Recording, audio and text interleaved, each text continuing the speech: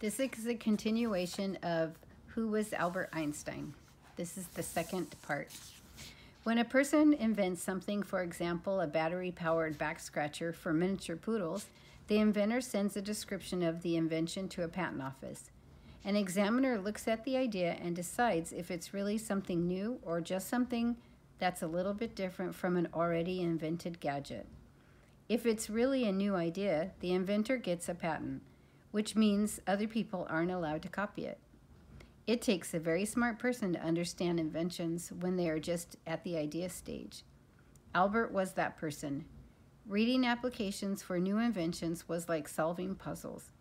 Albert was so good at his job that each day he completed his work long before it was time to go home. He was then able to turn his attentions to his first love, thinking. Imagine what that must have been like for Albert. It would be like a kid going to school every morning, finishing all the schoolwork within an hour, and then playing for the rest of the day. With all that time to think, Albert ended up writing and publishing more scientific papers. In one year alone, he published five groundbreaking papers in a very famous German journal about physics. A storm broke loose in my mind, explained Albert. So in some ways, his patent office turned out to be his patent office job turned out to be a lot better than the teaching job that he had originally hoped for. With steady work at the patent office, Albert felt that he could ask Mileva to marry him. So he did. She said yes, and they were married in 1903. The following year, their son Hans Albert was born. Now Albert had the time to enjoy music, long dinners, long walks with his family. Albert was happy and secure. Confident in his job, he could relax, be more of himself. For Albert, that meant dressing carelessly, wearing the same wrinkled shirt day after day, and often forgetting to brush his hair. As someone once said, Einstein looked as if he just smoked an exploding cigar. Albert's years at the patent office were wonderful. He had a family he had family time to think and write lots of scientific papers and enough money. Many of the greatest scientific achievements of the 20th century, electronics, the atom bomb, space travel, were all suggested by Einstein in the papers he published while he worked at the patent office. Those ideas were then worked on further by scientists in other in the decades that followed. Then, in 1909, the University of Zurich convinced Albert to leave the patent office and become a professor. Albert would actually be paid to teach and study physics. Life was even more wonderful.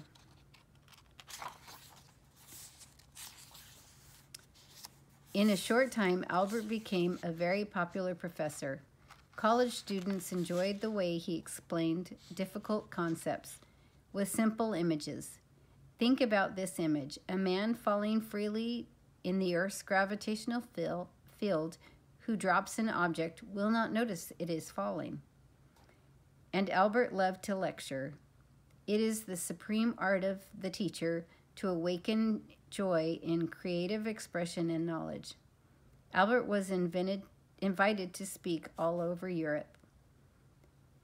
He was a rising star, Albert accepted other teaching jobs that took him only not only to Zurich but to other European cities like Bern, Prague, and Munich.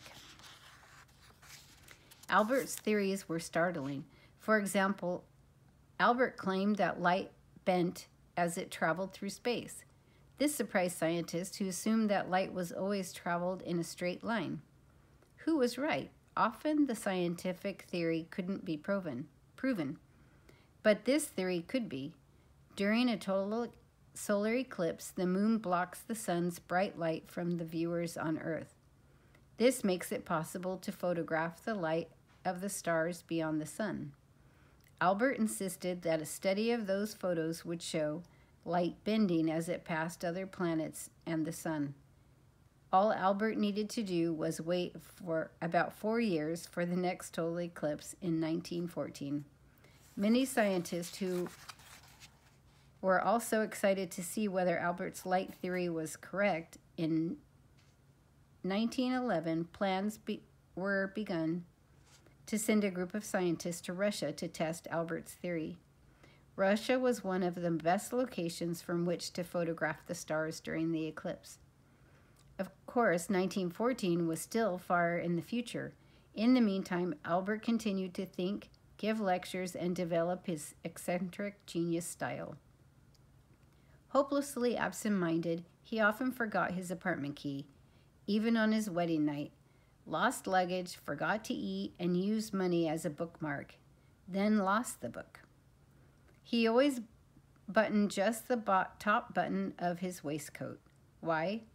It's similar that it's simpler that way, he said. When Albert shaved, he used only water, which is a very painful way to shave.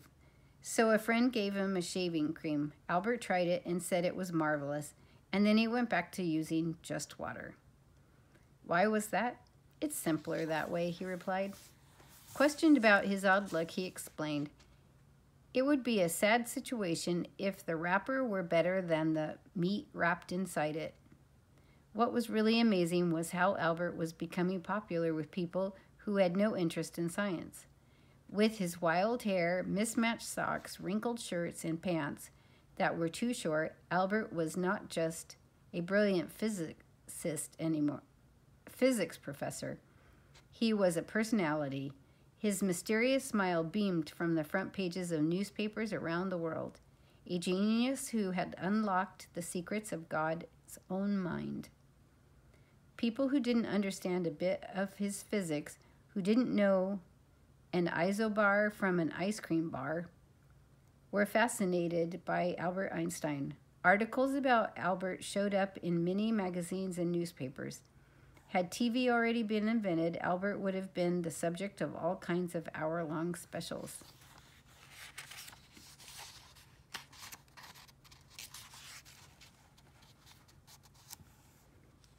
In 1913, a famous university offered to pay Albert more money than he had ever made before. All he had to do was come to the school and think. He would teach only when he felt like it. It was a dream come true, almost. The one drawback was that the university was in Berlin, Germany. Although it had been nearly 20 years since Albert lived in Germany, he hadn't forgotten his awful high school years, and Albert's wife, Mileva, didn't like Berlin or the people there. She thought they were mean and unfriendly. Mileva was also jealous of Albert's success. She was a brilliant scientist, but the world only cared about Albert. The more she thought about it, the less she wanted to live in Zur- leave Zurich and their many friends. Albert had to make a decision. Would he go off to Berlin to think or stay in Zurich and be a good husband and father? Albert needed brilliant people around him who could help him think about his ideas. By the time a at the time, a scientist said, only a dozen men in the world understand relativity, and eight of them live in Berlin. Albert remembered his hikes through Italy and the promises he made to himself. He decided to go to Berlin. Albert left Mileva and their two children behind in Switzerland. Albert once admitted I treat my wife as an employee whom one cannot fire. It was not surprising that Mileva and Albert soon got divorced. Thereafter, Albert had little to do with her or their two sons. Years later, when Albert won the Nobel Prize in 1922, he sent the prize money to Mileva and their sons. Perhaps this made him feel less guilty for having abandoned his family. Albert's oldest son, Hans Albert, grew up to become a distinguished science professor in California. Occasionally he visited his father Edward. His father, Edward, born in 1910, the younger son whom Albert nicknamed Tedel, which means little bear, was gifted in music and literature but suffered from mental illness. After his mother's death, Edward Eddard lived in a hospital for the rest of his life. Albert once congratulated his son Hans Albert, whose birthday he never remembered, for being just like himself when it came to family. It is a joy for me to have a son who has inherited the main trait of my personality the ability to rise above mere existence by sacrificing oneself through the years for an impersonal goal. This is the best, indeed, the only way in which we can make ourselves independent from personal fate and from other human beings. Albert never questioned his decision to choose scientific discovery over family. As for moving to Berlin, Mileva had good reason for not wanting to live in Germany. In the early 1900s, the countries of Europe were struggling with each other for power. Some countries had a lot of land but less money. Many people were not allowed to worship as they wished. Several countries had large populations but weak armies. They all wanted what the others had, and they were all willing to fight for it. The tensions grew and grew. There was so much hatred. Europe felt like it was going to burst. Germany was one of the scariest countries. The government wanted to build the most powerful army in Europe to get rid of all the German all of Germany's enemies. When Albert arrived in 1914, Berlin was full of German soldiers that were trained, armed, and eager for war. It was a very uncomfortable place for peace loving Albert to live. But one person in Berlin, Albert's cousin, Elsa, made life much more pleasant. Elsa was full of affection for Albert. They started to spend a lot of time together. Elsa was soon in love with Albert, the man, not the scientist. As far as Albert was concerned, he and Elsa were a much happier match than Albert and the challenging Mileva. Soon the couple announced that they were there that they were going to get married. Elsa took care of Albert, which was a which was good because Albert certainly didn't. He was ever more careless about getting enough sleep and eating properly. Albert's doctor said of him, As his mind knows no limits, so his body follows no set rules. He sleeps until he is wakened, he stays awake until he is told to go to bed. He will go hungry until he is given something to eat, and then he eats until he is stopped. Elsa looked after him, making sure Albert got up on time, got dressed, and ate his breakfast. Life with his second wife suited Albert very well. However, it is an interesting fact that Albert's very scientific thinking was done during his marriage to Mileva. His very best scientific thinking. Perhaps that doesn't mean anything, or perhaps, as some critics say, his great theories might really be their great theories or even her great theories. Some publications, even Time magazine, which proclaimed Albert Einstein Person of the Century in its December 31st, 1999 issue, wondered exactly what Mileva may have contributed to her husband's scientific ideas. In 1914, Europe finally burst.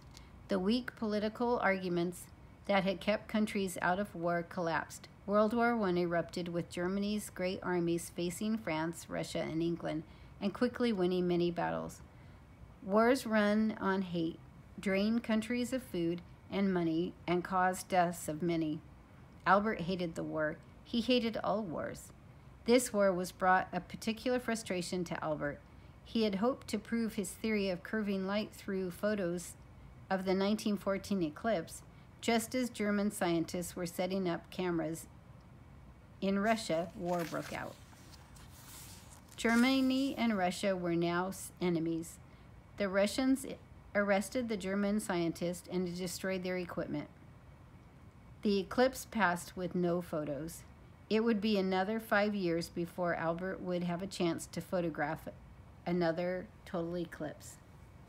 The combined forces of Russia, France, and England eventually slowed and stopped the German victories.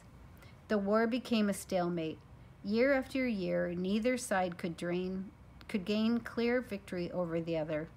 The supplies needed to fight the long war drained Germany of its money, food, and fuel. And meanwhile, thousands of German soldiers died each day. German leaders kept insisting that the war would end in their favor. They ordered the country's best scientists to say that. Yes, indeed.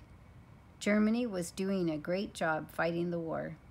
Albert refused to make such statements. He said, Never do anything against conscience, even if the state demands it, and he meant it.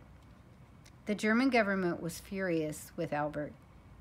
It wanted to put Albert and his ridiculous head of hair into jail, but Albert was lucky. He was still a citizen of Switzerland. It was difficult for the Germans to imprison somebody from another country, especially a peaceful one like Switzerland. Germany finally lost the war in 1918. Albert had managed to stay out of jail. More, more than ever, Albert was committed to promoting peace. In the following year, 1919, there was going to be a full eclipse, the first since the one in 1914 that didn't get photographed. It was a step step up or shut up time for Albert and his theory of bending light.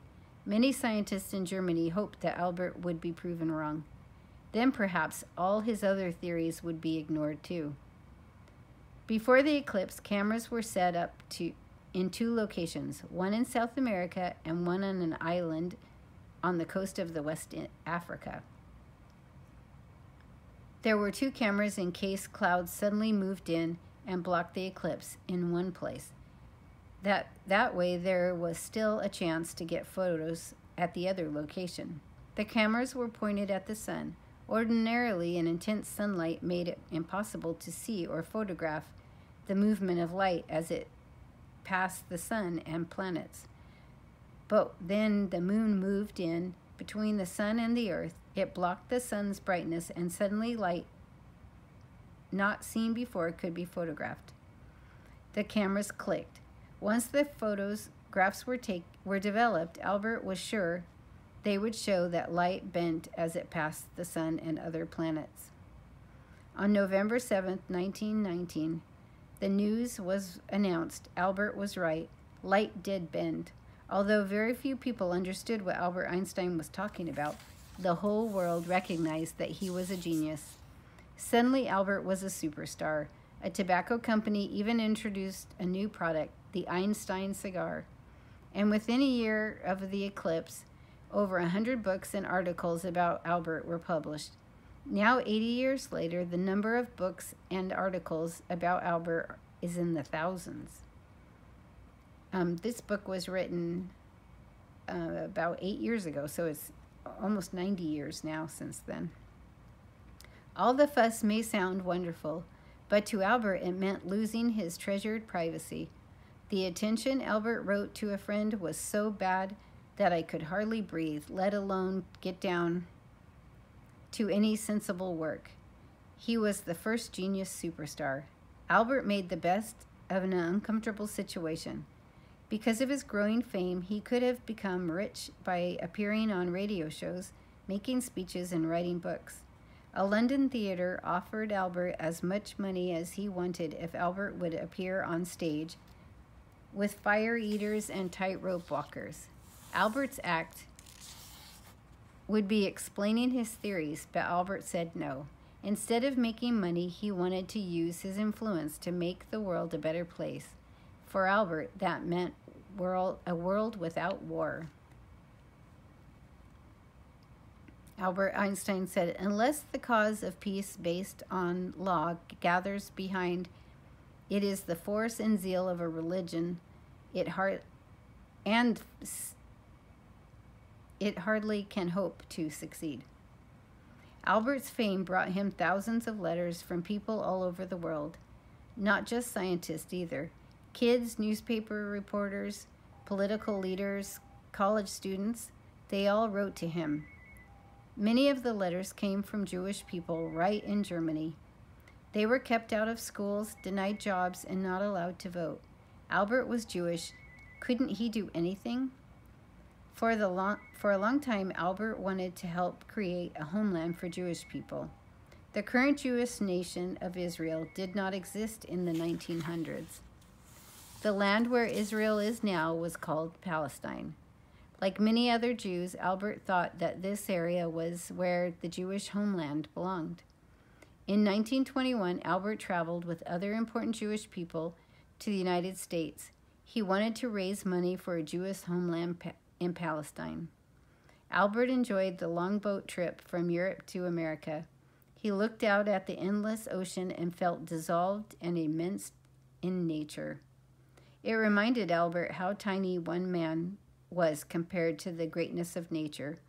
He was not so important as the world was making him out to be. That thought, he said, makes me happy. So Albert was quiet, quite surprised to see thousands of people, including reporters and photographers, waiting at the pier when the ship arrived in New York City. Wherever he went, where there were huge crowds eager to see the genius who unlocked secrets of the universe.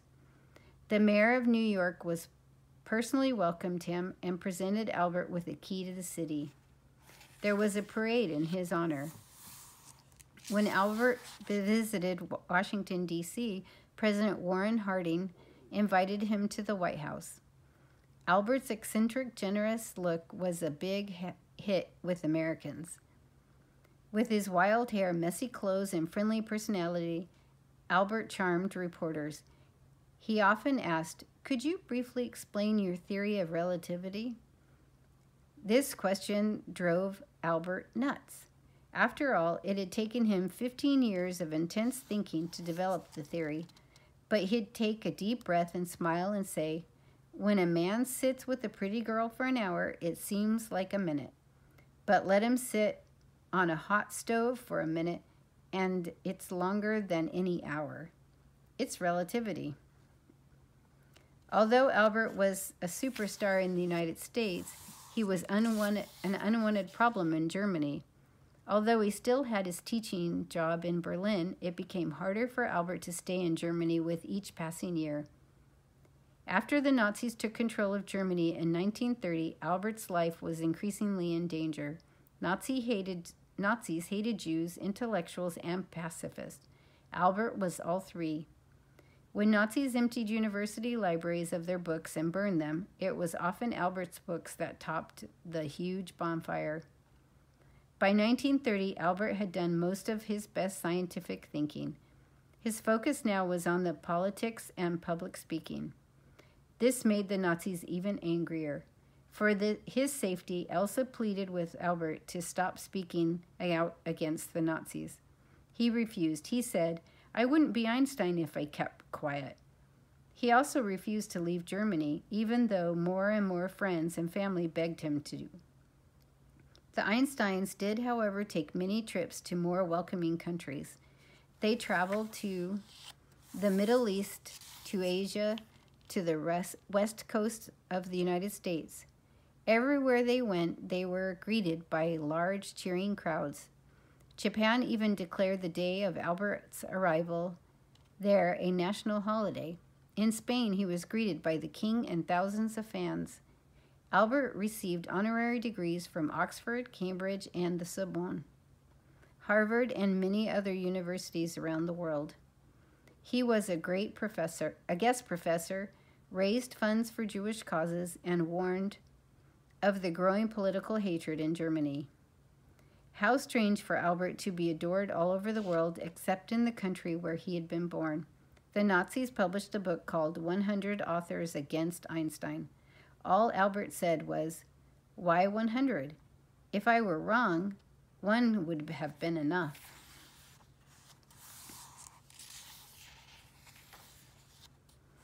Albert was very lucky to have survived in Nazi Germany.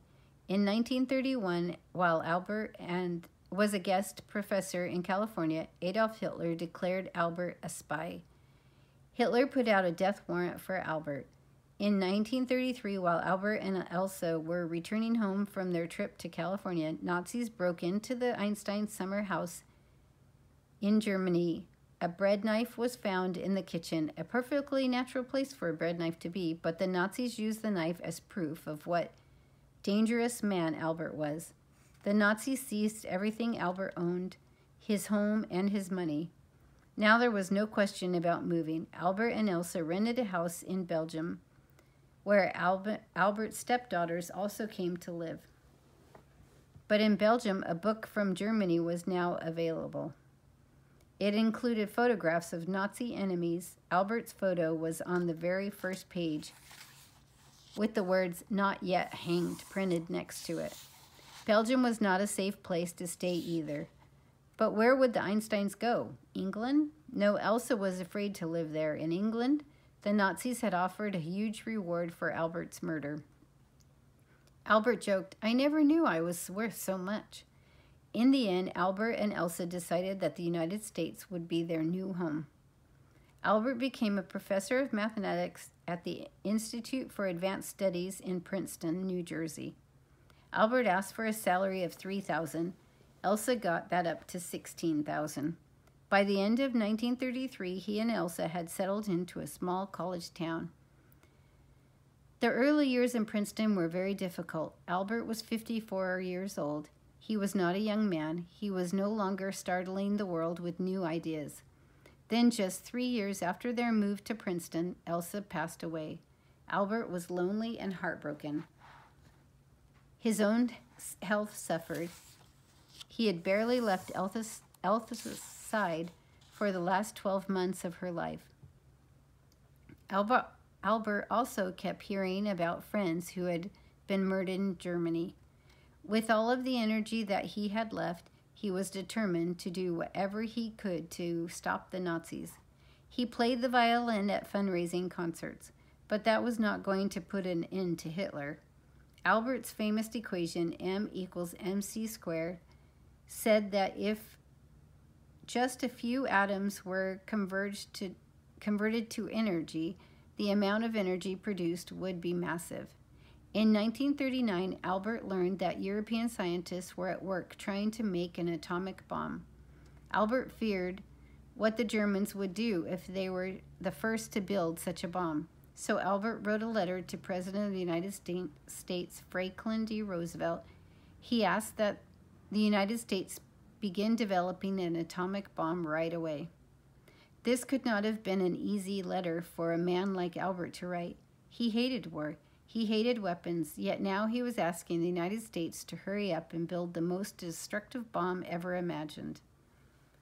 Even the simplest atom bomb could destroy an entire city and kill thousands of people within seconds. But Albert thought that it would be worse if the Nazis were the ones with the, such a weapon. Partly because of Albert's letter, President Roosevelt had secret work begun on building an atomic bomb. Albert later reflected on his this moment in world history. I made one great mistake in my life when I signed the letter to President Roosevelt recommending that the atom, bomb, atom bombs be made, but there was some justification the danger that the Germans would make them. After World War II, Albert spent time and energy trying to limit the development of the atomic weapons.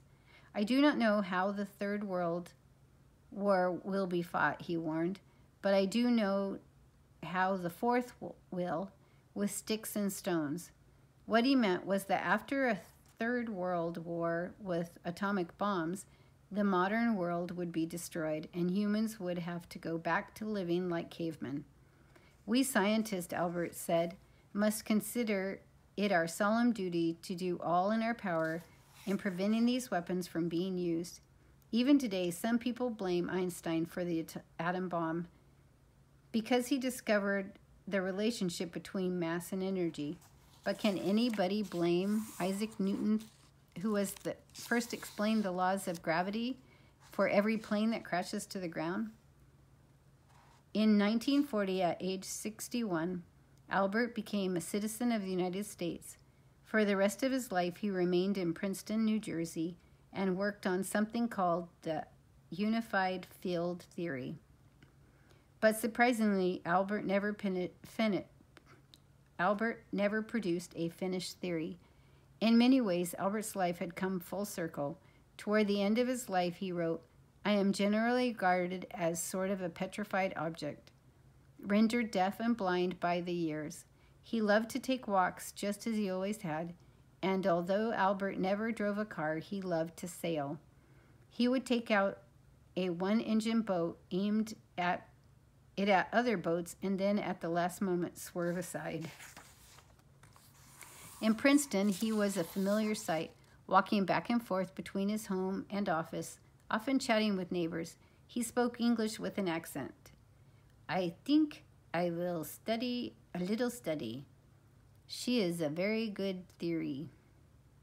His shaggy hair, now white, grew even wilder, and he often went outside went without socks, belt, or suspenders. Once some boys asked Albert why he never wore socks.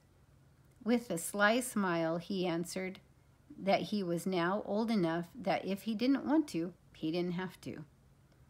On his walks, Albert was enough to stop and help, was known to stop and help and fix a child's bicycle. And when a young girl came to his house asking for help with her math homework, Albert not only did just that, but shared his lunch of a can of baked beans with her.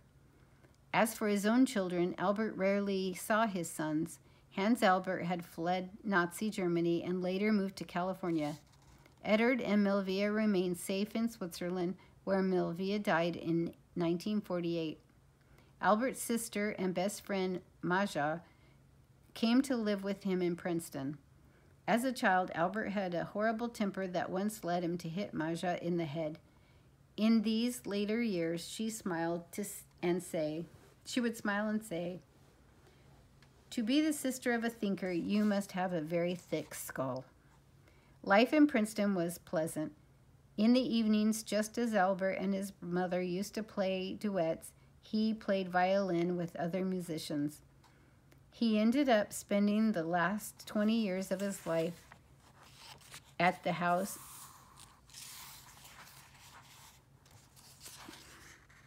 at his house at 112, 112 Mercer Street in Princeton. He loved the old house, its gardens, and the way the light came through the windows. When they first moved to Mercer Street, Elsa had pictured when had a picture window put in Albert's study. From there, Albert could enjoy the beauty and mystery of nature as he always had, watching birds fly, flowers bloom, and the morning sunshine.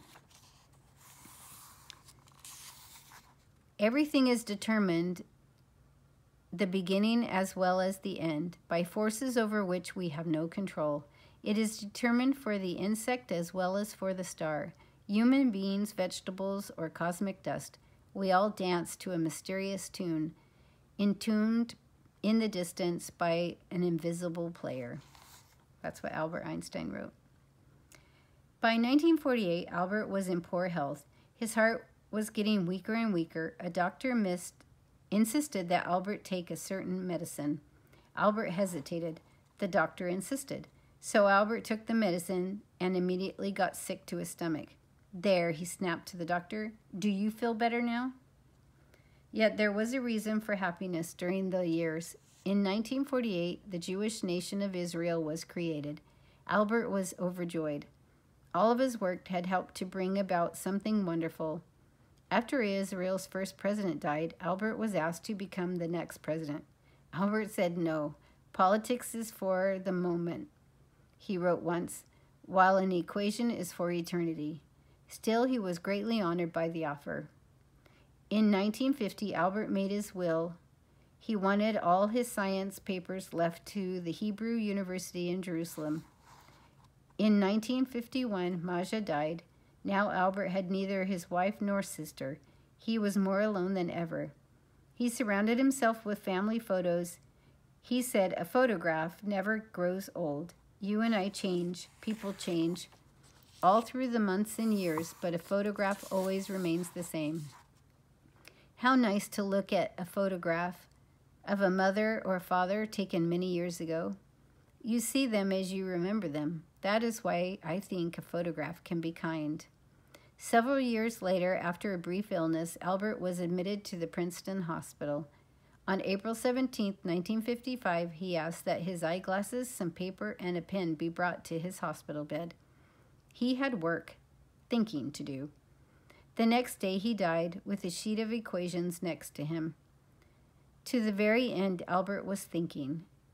The last letter he wrote was one that urged all nations to give up nuclear weapons.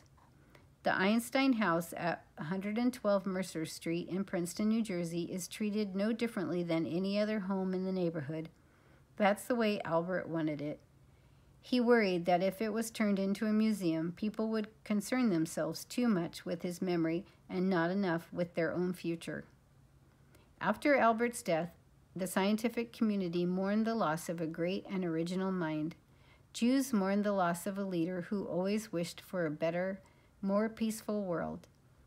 Even in the darkness moments, darkest moments of Jewish history. And all the people mourned the loss of a unique, peace-loving man. Perhaps uh, Albert said it best. Only a life lived for others is a life worthwhile. Albert was not the best husband. He was not the best father. But as a friend said of Albert, he was the freest man I had ever known. Albert left these instructions upon his death. Donate my brain to science, cremate my body, and throw the ashes in some secret place. This was done. So, where is Albert's brain now? After Albert died, an autopsy was done on his body.